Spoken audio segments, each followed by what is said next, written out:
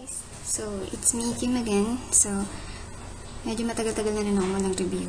Pero, nairisipan ko ulit mag-review today kasi may sale ang Sansen. It's 2 for 150. So, bumili ako ng... Actually, madami ako nabili pero ito lang ang i-review ko. Itong foundation nila, matte foundation nila.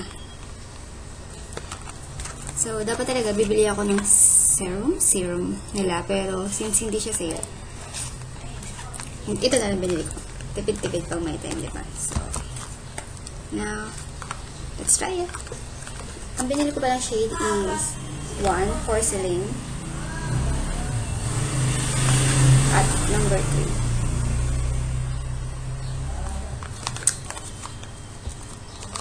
Porcelain yung kinuha ko kasi acidic ako, guys. So, kung maputi siya sa una, magtutong down din siya, mag-oxidize din siya after ilang minutes.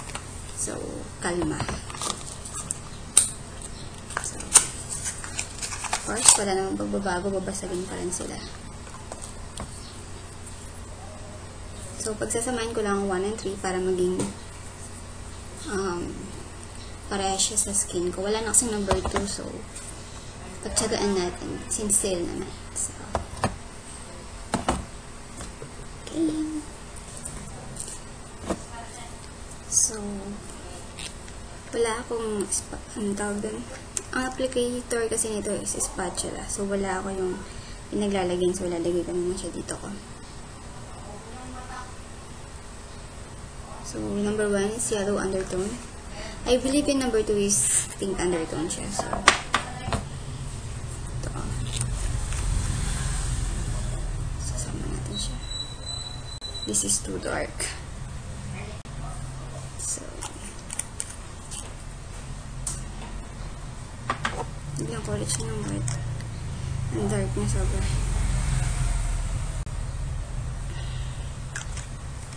So, ayan. Sabi nila sa YouTube, mas maganda daw itong gamitin kung may, kung damp, yung sponge ang gagamitin mo. Pero, wala akong sponge. Dream ko yung, ano, yung beauty blender talaga na original. Pero,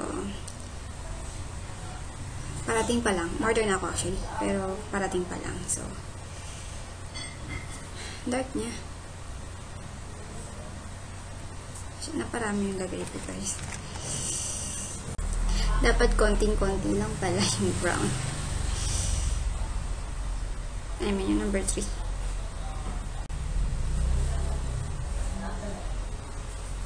So, yan na. Lagay ko lang siya sa aking face.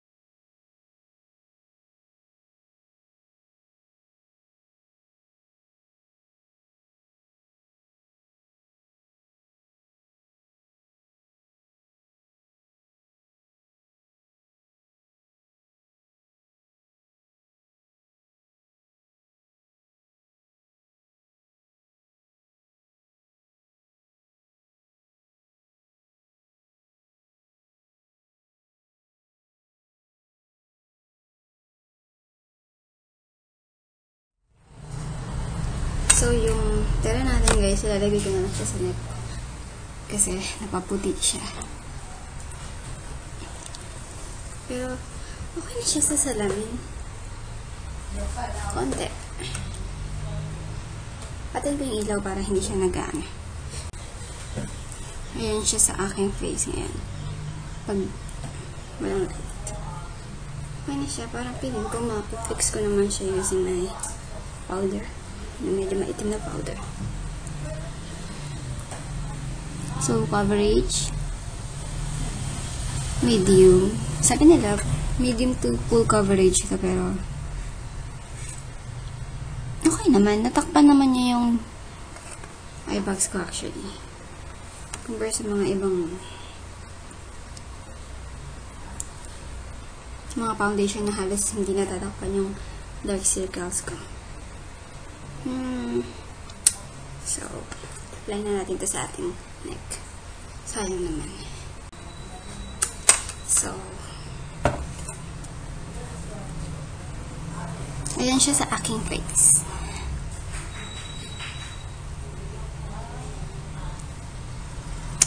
So, wait muna natin siyang matuyo guys.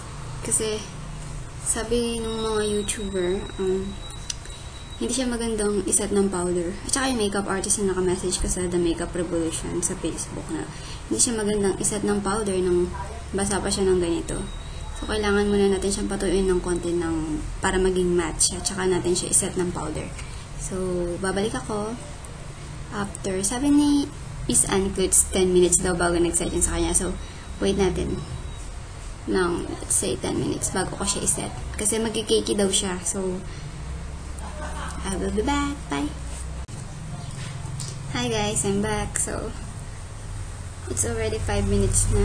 Naisipan ko, medyo ano pa siya, dewy pa, dewy?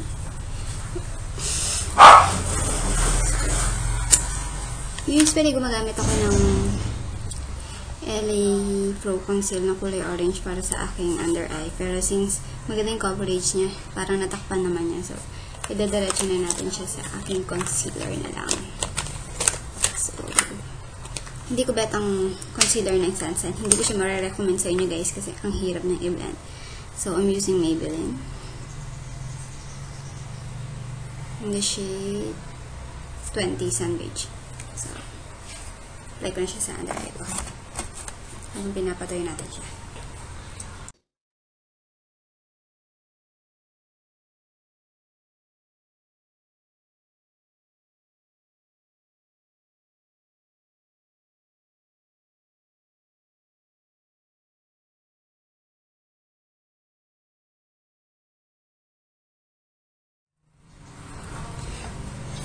Ang ganda ng coverage. Natakpan niya yung eye bags ko na napakalaki kanina. So, actually, kapag ginagamit ko to, hindi man nag-work na siya lang. Kailangan ko pang gamitin tong orange corrector ko. Pero, ngayon maganda to coverage nitong Sansan. Hindi na kailangan. So, I think hindi na siya matutuyo ng matte. Hindi siya matte, guys. Don't believe the matte na sinasabi niya. Iset na natin siya ng powder.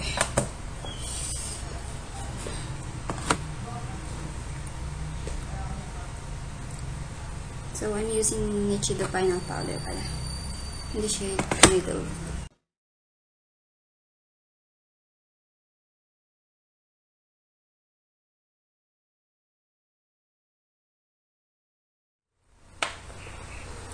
Mag-eyeshadow ako ng konti. Since magsa-church kami mamaya.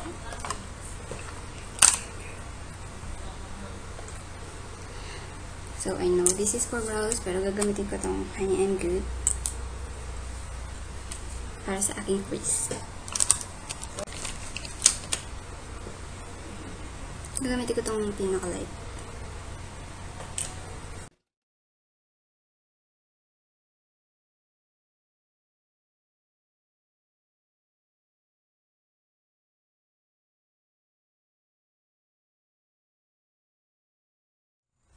Tapos, kung gagamitin ko lang itong second darkest dito sa aking... Ito pala yung crease, sorry. Eyelids pala. Hindi ko alam. Basta yung dito sa, ano, sa gilid. Yung dark.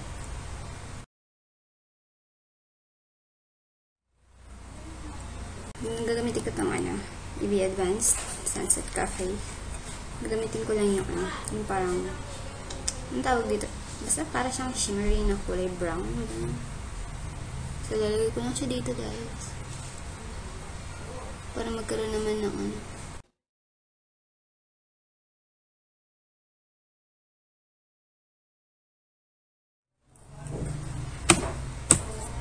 Then, i-dash up ko na.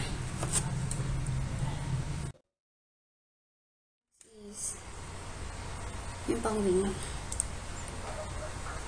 Liquid eyeliner. Nagkilay na pala ako guys kasi di ako magaling magkilay. So,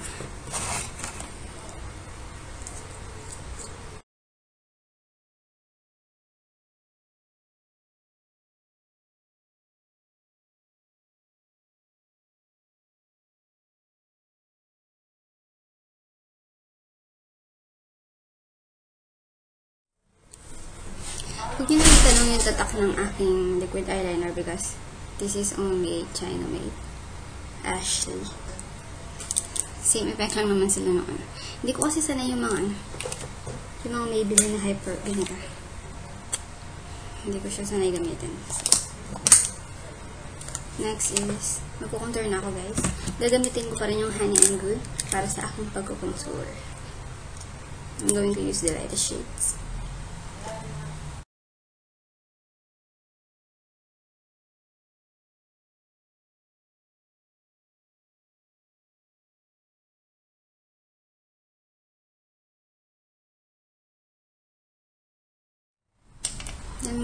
Use yung ginamit ko sa aking eyeshadow para sa aking nose contour. Gagamit ko yung lightest.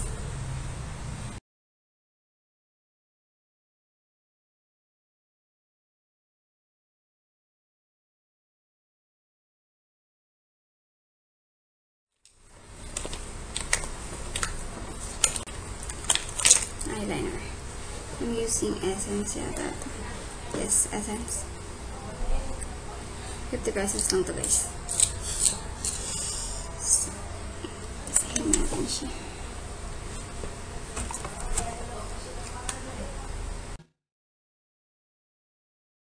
Next is, ko naman ng ating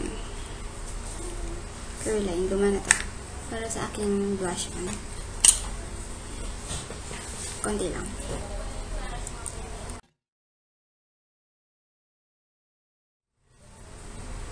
Sa camera lang.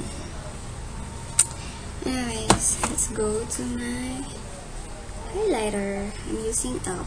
Actually, blush on to, pero sabi ni ni Rice. Rice? Maganda daw siyang pang highlighter. So, hindi naman ako, ano, hindi naman ako nabigo. Maganda talaga siya. So, pwedeng gamitin to or yung hands mo sa pag-apply.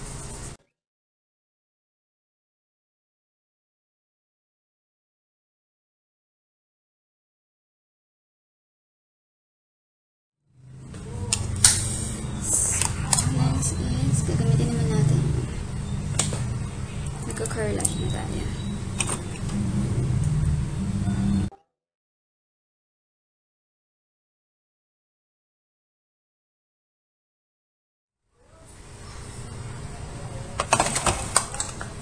Then, I'm going to use the long last waterproof ng Sansan. Ito ang holy grail ko sa aking lashes.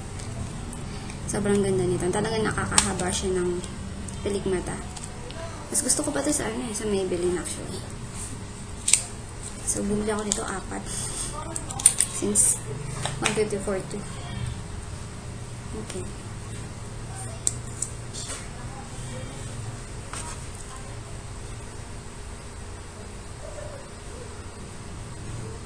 Ganda. Tingnan nyo guys. Tingnan nyo. Ganda, diba?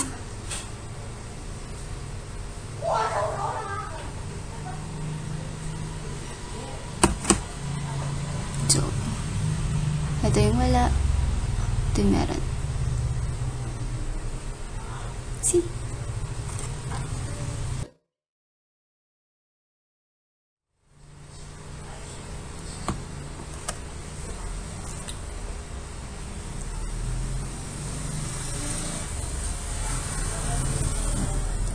Let's go sa ating lips. Hindi ko alam kung mag-red lips ako. Lipstick ako.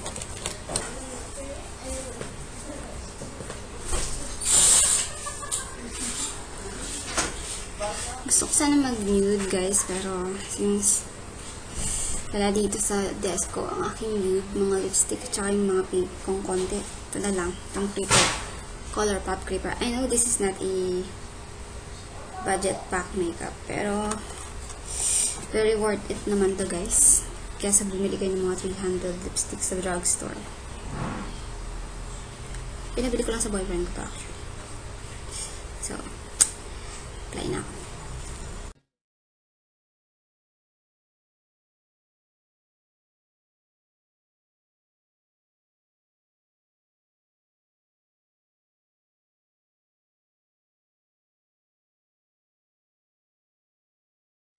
Guys, may chika ako sa Colourpop. Simula nung na-try ko yung Colourpop, never na akong pumili ng ibang lipstick. Talaga, sobra talaga nag stay to buong araw sa yung lips. Kahit kumain ka ng kumain.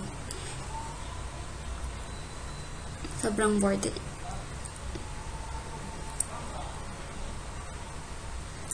Nainis nga yung boyfriend ko nung umuwi siya kasi ang dami ko pinabiling din ito. So, hindi, hindi niya maintindihan ba't kailangan pa dun sa company na yun. Kasi ang hirap ng customer service nila pero bongga talaga worth it talaga siya guys. Hindi magan mahirap mag-apply kapag dark. Kapag nude at saka pink, okay lang siya. So, ito na ang aking makeup guys. Bili na lang natin ito. Try ko sinding ilaw para makita niyo yung ano, yung look kung paano yung foundation sa aking face. Tcharan! Hindi ko alam kung ma-appreciate nyo sa ano, sa light na dito. Pero ang ganda ng foundation na to. Mas gusto ko siya sa Maybelline Dream Velvet. I don't know, hiyangan lang. Pero try ko yung dala sa may ano, magandang lightning guys.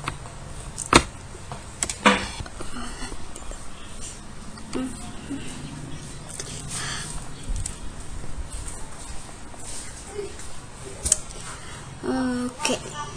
Ayan na ang aking final makeup. So, coverage, good.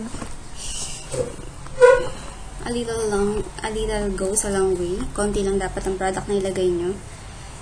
Pero, tatry pa natin siya ng yung longevity na sinasabi nila. Sabi kasi ni Miss Anne Claude, sumaabot siya ng ilang oras bago siya mag-oil up dito sa foundation na to. Tapos, super oily niya. So, ako, oily ako, especially sa T-zone. Kahit anong gamitin kong foundation, after 3 hours or 2 hours, talagang super oily especially sa nose. So, mag-shorts kami, and mag-SM. And, natutulog naman ako ng late, so, tatry natin siya for 8 hours, or let's say 12. Susubukan ko. So, mag-update ako mamaya. Bye! Sorry guys, nakalimutan ko sabihin kung anong oras na. So, so it's now, ano ba? 2 p.m. in the afternoon. So, mag-church ako mamayang 5. So, kabalik ko dito, galing church and SM. I-update ko kung ano na ang aking face. Pero just in case nag-oily na ako, magbablata ko, i-video ko naman guys. So. So, bumalik lang ako para sabihin yung oras kasi nga, mag-update tayo. Titignan natin yung longevity ng foundation na to. So, importante yung oras. So, I will be back. Bye!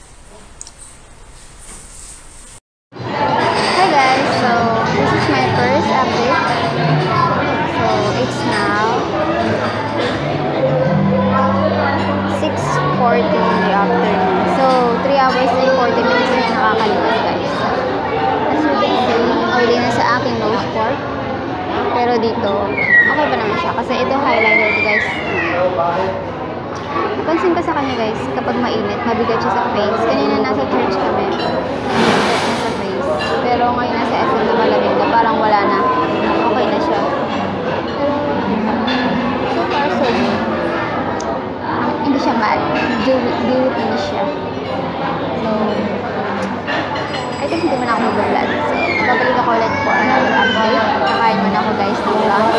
Super late lunch. So, bye! Hi guys!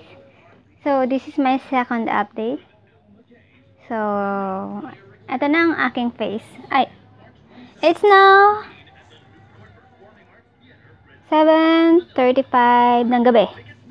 So, 2, 3, 4, 5, 6, 7, 5 and a half hours na siya sa aking face ngayon. So, as you can see guys, oily na ako. Especially sa nose part. Itong, I think itong highlighter ko, oily na rin siya. Nagiging worse lang siyang tignan kasi nga may highlighter siya. Dito, oily na rin ako.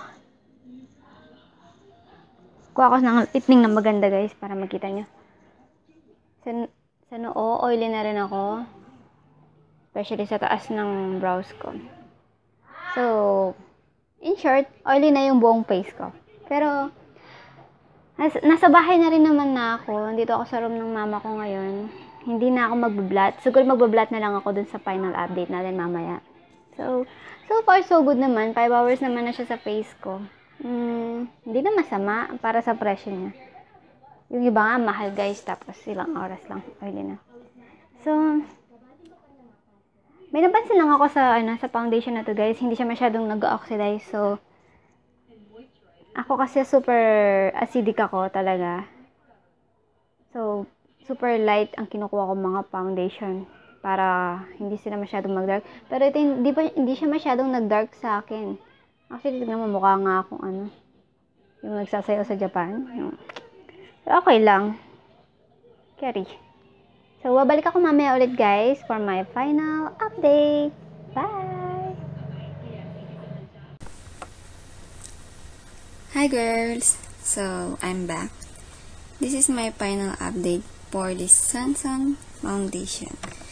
So, eto na siya. After, wait lang, anong oras na ba? It's now 1 1.01 a.m. in the morning na. So, umabot siya ng 3, 4, 5, 6, 7, 8, 9, 10, 11, 12, 11 hours sa aking face. So, ito na siya. Hindi ko alam kung makukuha ng camera dahil laptop lang yung gamit ko. Actually, nakatulog na nga ako. Okay naman siya. Okay pa rin siya actually. Wait, kunin ko yung salamin ko.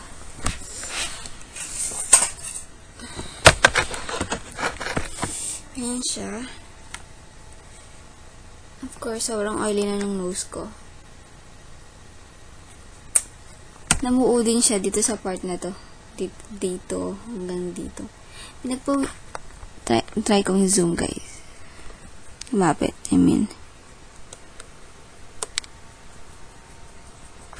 Namuo siya dito sa part na to.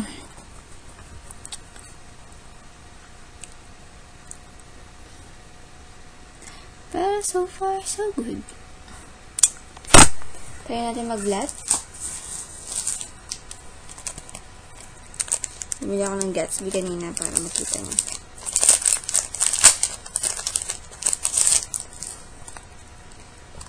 Hmm. First time kong gagamitin ng Gatsby na to. Hmm, cool. Okay. So,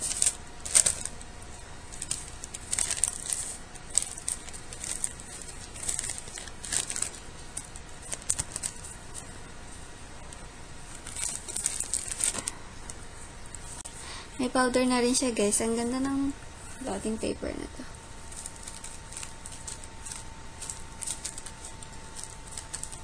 Oh, malat na yung lipstick ko.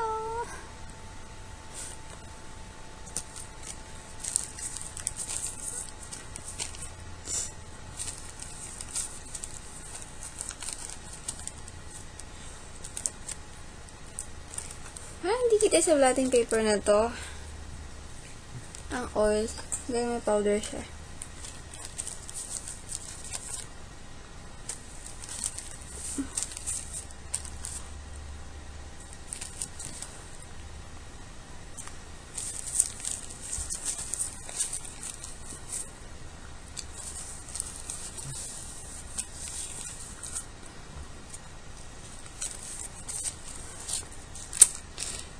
Ang ganda lang. Um, ano, may powder na rin siya. So, ito siyang oil. Hindi, hindi masyadong marami. Or may powder lang to. Pero, kapag sa person, kita naman siya. Ito siya. So, Ayan, kung kita na. Dito sa part. Hindi kasi ako pawisin, guys. Pero yung oily ko lang. Ang problema talaga sa mukha ko. Pero, ayun. After 11 hours, yan na yung oil na nakuha ko. And actually, pag binlat mo siya using that blotting paper, okay ulit siya. Nice ulit. Actually, pwede pa akong umalis ng ganito. So, okay ito. Sabi nat ng mga sis natin sa The Makeup Revolution, hindi nila gusto dahil namumuo daw sa face nila. Tsaka sobrang oily nila. I think, depende rin yata sa ano, sa gagamit. Kasi sa akin yung mga ibang gamit ko na foundation na mas mahal sa kanya, same lang din naman ng effect. After 11 hours, ganito na rin. So, I think, depende din sa gagamit talaga, guys. Ang kinagandahan pa ng foundation na to, guys, hindi siya masyadong nag-oxidize kung acidic ka. So, approved na approved to sa mga acidic like me. Kasi yung Maybelline, yung especially yung Dream Velvet, yung mousse na bagong labas ngayon, kahit yung lightest shade, yung light, lightest shade yung kinuha ko, yung nude, yung 40, sobrang mag-dark talaga sa face ko. After ilang oras or 2 hours lang, ang itim na ng mukha ko. Or minsan orangey siya. So, I don't recommend it para sa mga ano, sa mga acidic like me. Pero this foundation worth 150. Very affordable. Ang ganda niya, guys. 11 hours sa face ko. Nag-church pa ako. Pagdating sa bahay, nagibaghabulon pa ako sa aking dog. Ayan, tulog na siya, guys. But still, eto siya. May problema lang, namuo lang siya dito sa part na to. I don't know kung makikita nyo. Pero the rest, okay siya. Napadami lang kasi nilagay ko nung una, guys. Or maybe hindi ko rin siya na-blend ng maayos dito. Pero, lahat naman yata ng foundation kapag naparami mo at hindi mo na-blend ng maayos, talagang nagkikik minsan sa part kapag pinagpawisan ka. Mas hindi pa ako nag-miss. Wala ako nilagay sa face ko kahit anong primer din. So, I think this is good. Very approved for me. So, I think, yun na yun, guys. So, bye!